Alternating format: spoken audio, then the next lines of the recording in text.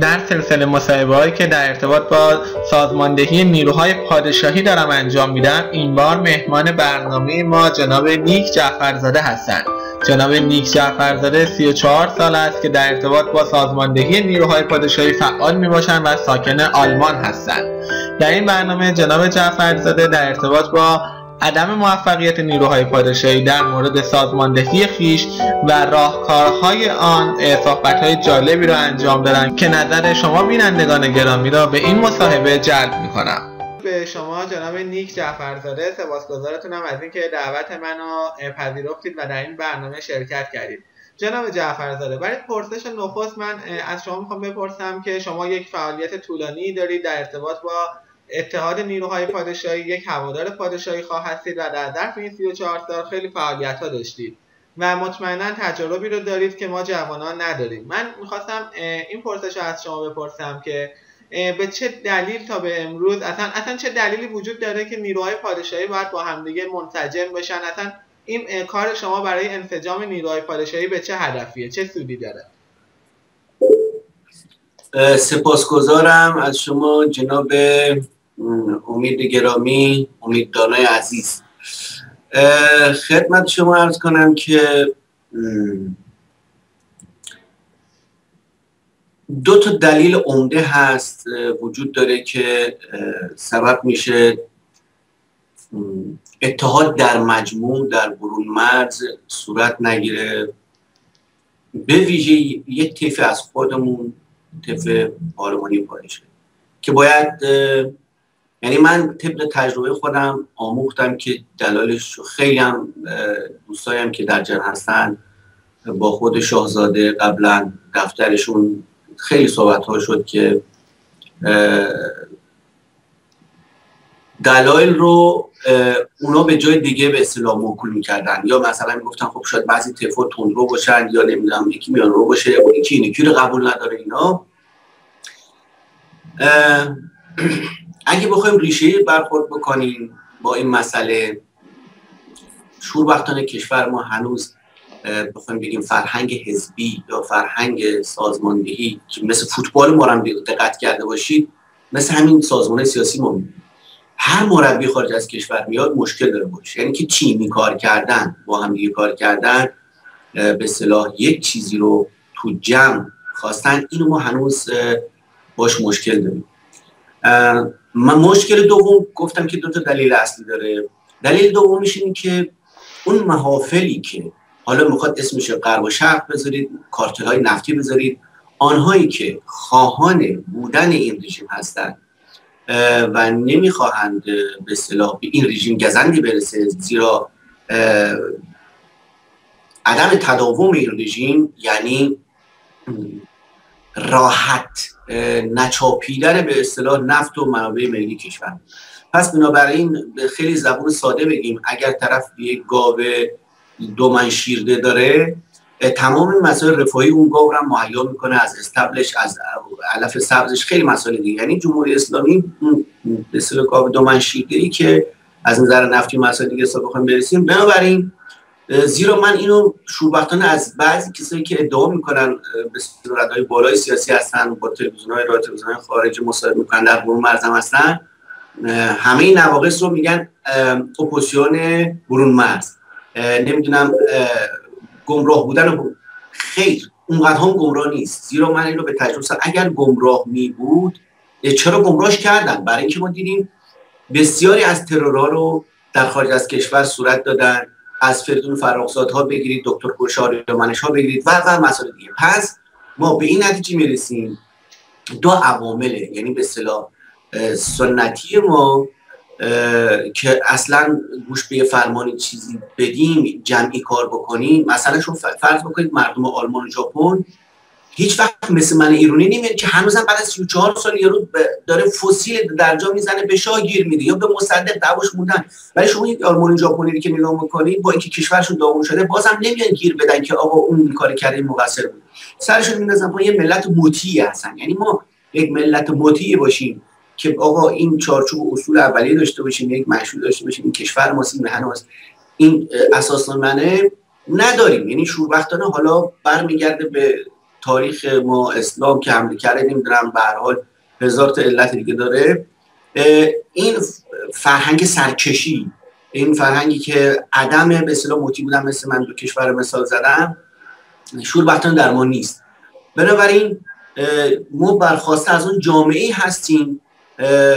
در ایران اگه دقت کرده باشید حتی در تو خود شورای ملی من تو بند طرح هفتش که من اعدام شکنجه بود یه موردی رو بهش اضافه کردم که به شکنجه چیست؟ خشونت در خانواده ها اون بسیار مهم است. چرا؟ اگه دقت کرده باشیم جامعه ما ربطی شما اگر فرشتر از آسمون بیارید ممکن اون جامعه رو دیکتاتوری کنن. شما فرض بگیرید مثلا در سوریه عراق کره شمالی کوبا اینا جمهوری هستن. ولی جمهوری چی هستن؟ پدر به پسر همینجور داره میره که دست هرچی دیکتاتور از پشت بستن و بال سلطانشین عروسان از پشت بستن. پس این برمیگرده به فرهنگ اون جامعه که سیاسیون ما برخواسته از اون جامعه هستن. بنابراین ما از کسایی که از چپ چپش بگیرید تا راست راستش برآمده از اون. بنابراین این فرهنگ هرمی شکل مثلا مجای خلق ببینید اگه کاربرد تشکیلاتشون علا رقم منفی بودنشون به اصطلاح قدرت این داره که راهبرد سیاسی داشته باشه حتی اگه منفی باشه و به کسی رو قبول نداره علتش هرمی فرهنگ حاکم بر جامعه ما هرمی شکله. اینجا مثلا ببینید کسی بالا بشینه دستور بده چون هنوز برو در, در, جامعه ما. اگه بگیم نه آقا نه دموکراسی فلان دروغ است شعار زیباست ولی در جامعه ما برو نداره. خاطر همین اون کسی هم تو ایران هست اون یه فقیر حاکم ولایت فقیر دستور میده صاف میره تا پایین مقلدش هم اجرا بکنن. در هر زاویه از به تفاوت مختلف سیاسی بخواد نگاه بکنید طیف‌های مختلف سیاسی این فرهنگ هرمی شکل هنوز هست. جناب نیک جعفر زاده ببخشید. پس شما در واقع این که ما باید برگردیم به پادشاهی رو برخواسته از فرهنگ ایران می‌دونید. درست من حد زدم؟ ببینید اینکه باید به فرهنگ پادشاهی برگردیم شکی در این نکنید. یعنی اون اگه یه عده میگن نه آقا جمهوری نه ببینید سخت این دوستان در اشتباه هستن. زیرا من معتقدم جمهوریت در پادشاهی پارلمانی نهفته هست. شما نمی‌تونید الان در سوئد مگه مردم نمیرن صندوق انتخابات؟ در ژاپن مگه مردم نمیرن؟ خودشون انتخاب نمی‌کنن. هیچ منافاتی با هم دیگه نداره که بخواد تضاد هم دیگه باشن. خیر. اگر ما خیلی سفت و سخت به این پایبندیم که باید یا یک فرد به عنوان سمبول یا یک انجمن یک نهاد پادشاهی ما نیاز داریم که بتونه پاسدار به اصطلاح میراث فرهنگی ما آیین ما آیین باستانی ما فرهنگ جایی که وقتی من خودم در خواب هستم ولی در کشور دیگه انجمن به اصطلاح ما از فردوسی می‌زنن یا اینکه در سازمان ملل یا جهان از سنگنوشته های کوروش میاد میگه حتی اگر سوسیالیسم هم شما می‌خوایم بگید ادعایی که سوسیالیستی می‌کنن باز هم کوروش به عنوان نماد اولی سوسیالیست است برای اینکه برابری زن و مرد فارغ از رنگ پوست اگه زنی که باردار بوده باید بیشتر بهش رسیدگی می‌شده مگر سوسیالیسم چی می‌گوید؟ آیا همه این چیزا که میگیم حتی جمهوریت یعنی من پس بنابراین در یک محیط بازتری رو میطلبم که ایران پارلمان پاشه باشه که جمهوریت هم در اون نفته هست؟ هر که شما فکر بکنید نمی‌دونم خود مختاری محلی بخواید بگید هر چه اسمش بذارید همه در اون هست پس بهتر ما یک طیف بسیار بازتری رو که خیلی شامل حال همه احزاب و گروه ها میشه همه امکان آزادی در اون دارند هستیم. و اگر ما به این مسئله کوچیک برای بعضی شاید اصلا میگن آقا حالا چیه؟ نمی‌دونم مشهور بختانه بعضی این کسایی که در جمهوری خواهی اینا می‌زنن میرن یه پرچم سرنگ برمیدارن اونجا می‌زنن هیچ هم توش نیست. این دوستان من داره راست و به اصطلاح به روک صاف پوست کرده به شما بگم که این ره به جایی می‌رود که آخرش میشه مثل مثلا مصر یا یونانی که زمان پادشاهی بود برش داشتم ببین به چه روزی افتاده.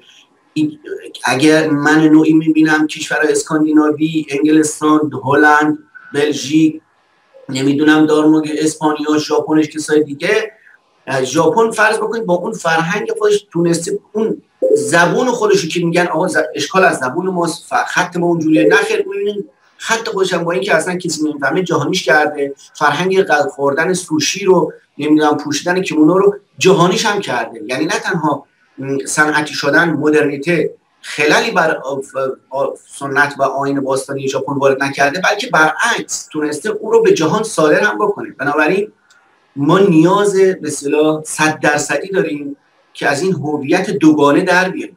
شوربختانه در جامعه ملی دقت بکنید از نن بزرگان اگه بپرسیم من فرض بکن پنجم فروردین میام سر وقت شما میگه نن چندم شوال رمزون میشه؟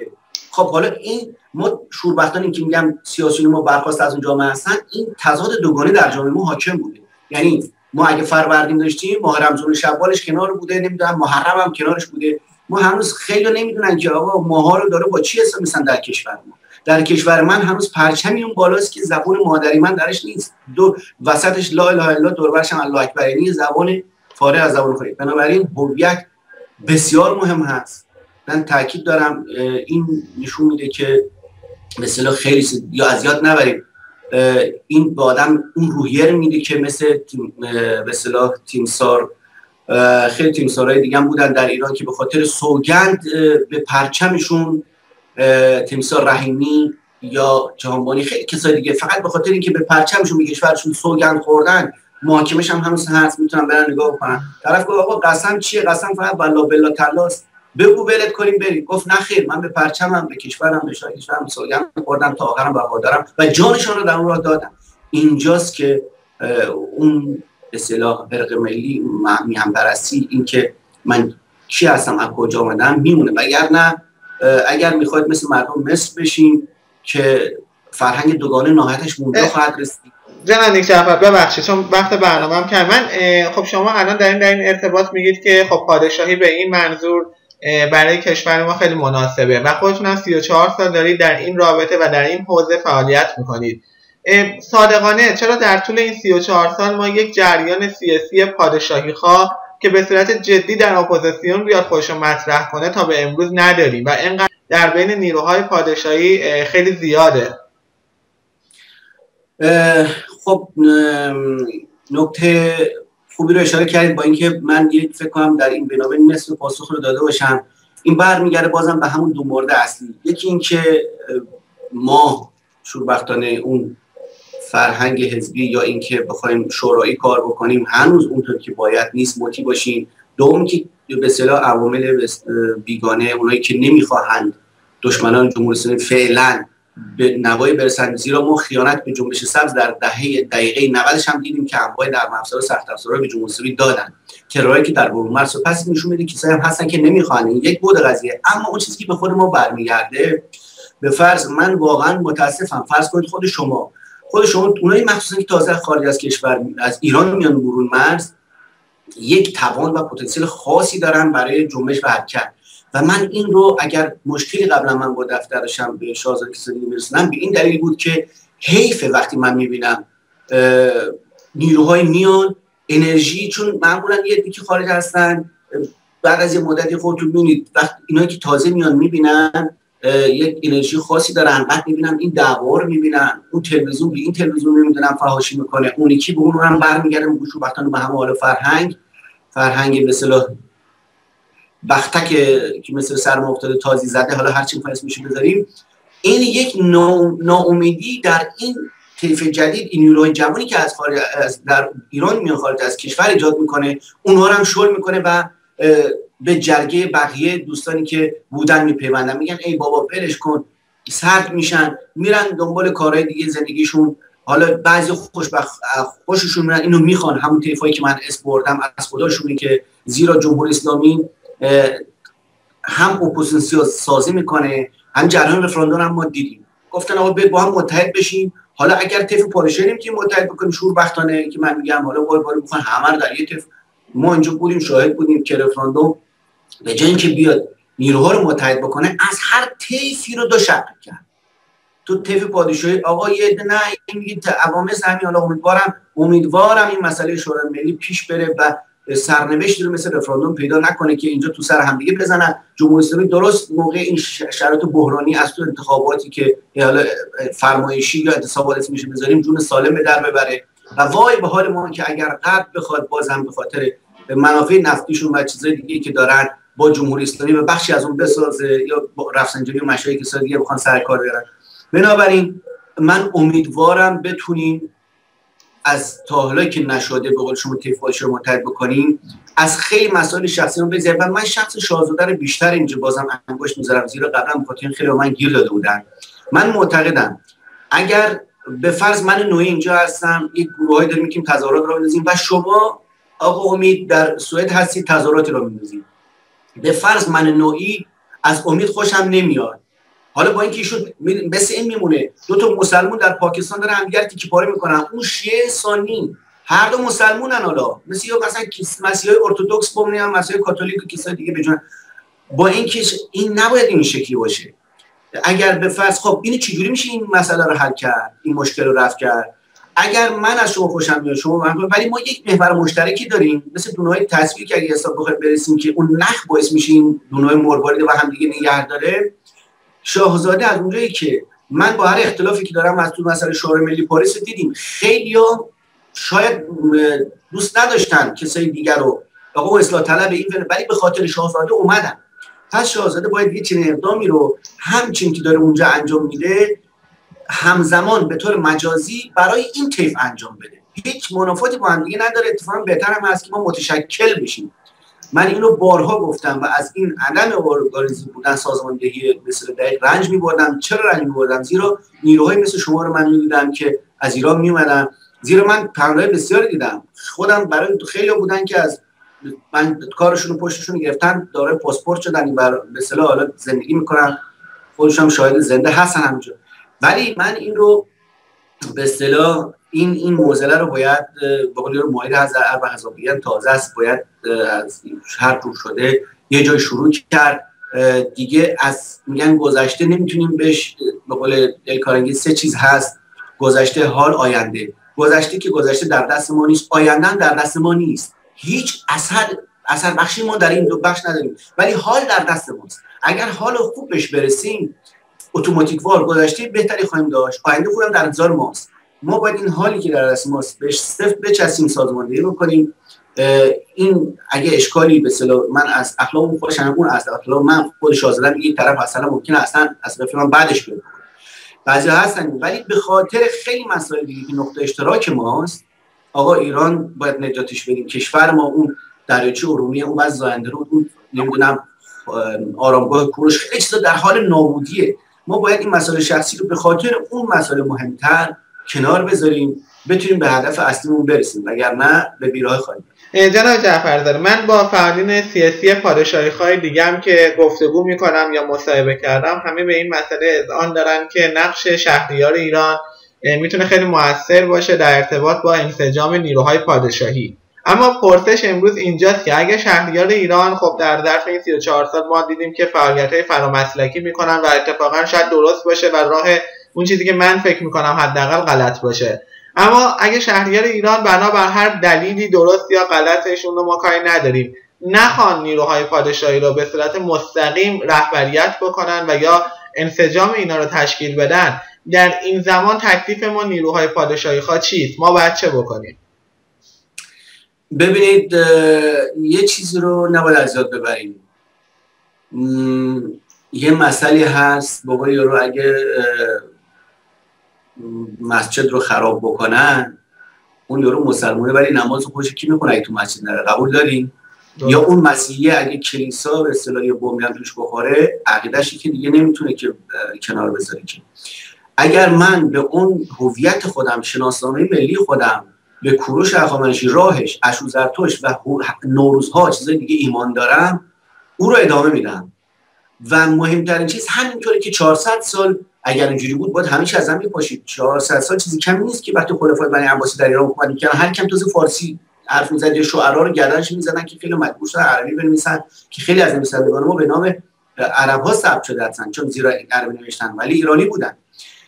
ولی اون چیزی که مهم هست پدر به پسر مادر به دختر یا سینه به سینه این فرهنگ باید ادامه پیدا بکنه که انتقال بدیم. ما این هستیم. خیلی کسا اصلا سیاسی نیستن ولی در خارج از کشور همین که بر ما ارزش داره. در نوروز میان کنار هم جمع میشن. جوون بچه که نمی‌دونی چیه زنجیر به اصطلاح گردنبند فرور اهورا مزدا رو گردنش می‌ذاره این خودش یعنی بیداری یک نسل. در ایران اگر جمهوری فعلا سرنگون نشده هست ولی یک انقلاب صورت گرفته و اون رنسانس به اصطلاح دینی هست و ما به این امیدواریم. ولی شاهزاده اینم به شما بگم اگر شماها تازه بخواید شروع کرده باشید من این جنگ رو از خیلی وقت پیش با دفتر شروع کردم. اصلا خیلی چیزایی بود که من باعث می‌شد که اونطوری که باید خیلی نزدیک نشم اون بر یعنی راه خودم می‌رفتم. ولی اینو مطمئن باشید اگر کسی امروز واقعیت رو نپذیره این هوا که نمی‌دونم فیلم کس در فیلم آمریکا تلویزیون داره تندروه اگر اون تندروه من میانه رو هم اونی که اون بریه هر هر کدوم تک مسراپ می‌زنن. این گروه ارکستر یک رهبر ارکستر می‌خواد که یک هارمونی خاصی توش باشه موزیک رو خیلی زیبا بنوازن که جمع لذت ببره از این کنسرت موزیک کلاسیک. شاهزاده اگر آن دیروز نمی‌گفت دلیل نیست که هر کس هم کنارش باشه راسته آقای آهی بود با تجزیه رفت از دفتر خیلی اومدن مدیر دفترش رو افتادن بیرون. دلیل نیست که حرف هم می‌زنن همون موقع نمی‌دونم خیلی که انتقاد ما می‌کردیم آقا شما باید بیاد نه آقا نمی‌دونم یادم من با آقای اوبنسی حتی می‌گفتم آقا هر کی داره ساز خودش می‌زنه نمیشه. یعنی حتی نمیذاشتن صدای شما بالاتر هم برسه. ولی نه من حالا خیلی من شد ارتباطاتی داشتم ولی کسی دیگه اصلا صداش هم به مرحله بالاتر هم بین قطع می‌شد. هر کسی از خوش اعمال نظر می‌کرد. اینم بازم شوربختانه برمیگرده به همون فرهنگی که من روی این حساب میگم. امیدوارم در ایران دموکراسی که مدرن می‌خوایم مثل جای دیگه پیش بیاد. ولی شوربختانه اینی که ما در ایران می‌بینیم و هی تاریخ تکرار میشه ممکنه بازم به همون نوستالژی قدیمی قدیمی مثل به اصطلاح رضا شاه مرزباشی بازم در ایران تکرار بشه. زیرا شیعهگری خودش سلسله مراتب علی حسین تا ممتیز خودش یک سلطنتی است که در ایران حاکمه و جامعه انگار بویا پذیرای همون شوربختن همون هرم گفته گفتم هستن. ولی این رو کوتاه بگم که بله اگر امروز دیروز نپذیرفتن یک روزی مجبور می‌شوند بپذیرند و به این راه بیایند.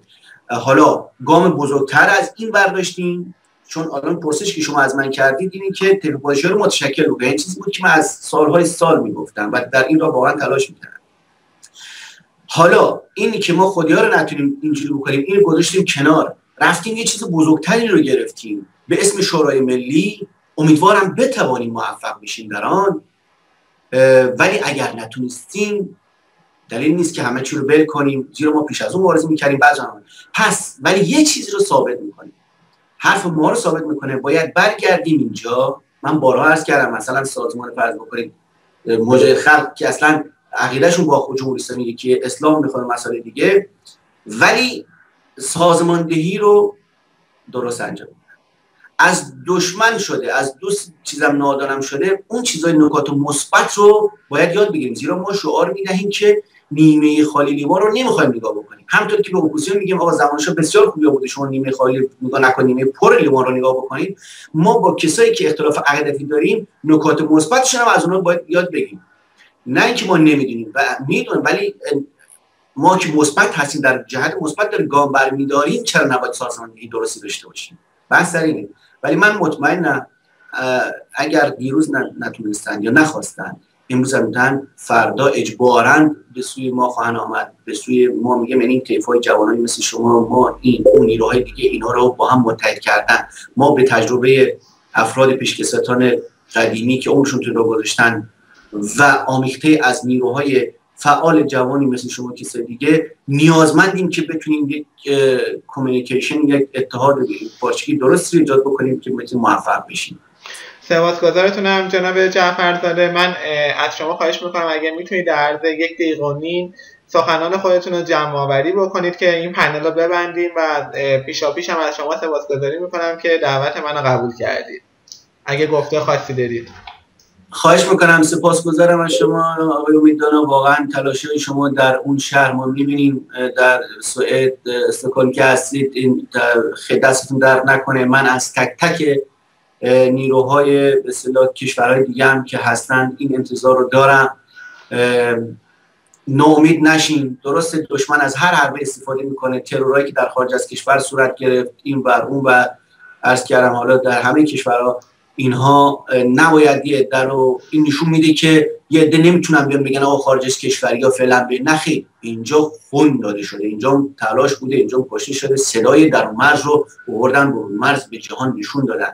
پس بنابراین درون و برون نکنیم. بتونیم این یکی شدن رو هم در طیف خودمون هم بین ایران و برون ایران یکی بکنیم. بتونیم که سریعتر این به اصطلاح گام خودمون رو در جهت آزادی ایران شتاب بیشتری رو بخشیم. این رو من از همه خواهانم و امیدوارم این مشکلی هم که به اصطلاح محور اصلی حرف ما بود سازماندهی یا ارگانیزه کردن شاهی با شتاب بیشتری رخ بده و اینجا شاهزاده به اصطلاح حضور فعالتر و چشمگیرتری رو باید نشون بده. برای متحد کردن نیروها همینطوری که من خلاصه بگم در دانمارک هم قبلا هم تو برنامه تلویزیونی هم, هم می‌گفتم وقتی که ارتش هیتلری حمله کرده بود آلمان دانمارک در اشغال بود این پادشاه دانمارک اون زمان بود که تونست نیروها رو منسجم بکنه. ام از چپ و راست اونجا رو تا بتونه ضربه مهلکی بر ارتش نازی آلمان اون موقع وارد بکنه. و این نشون میده که پس پادشاهی قدرت خیلی کارها رو داره.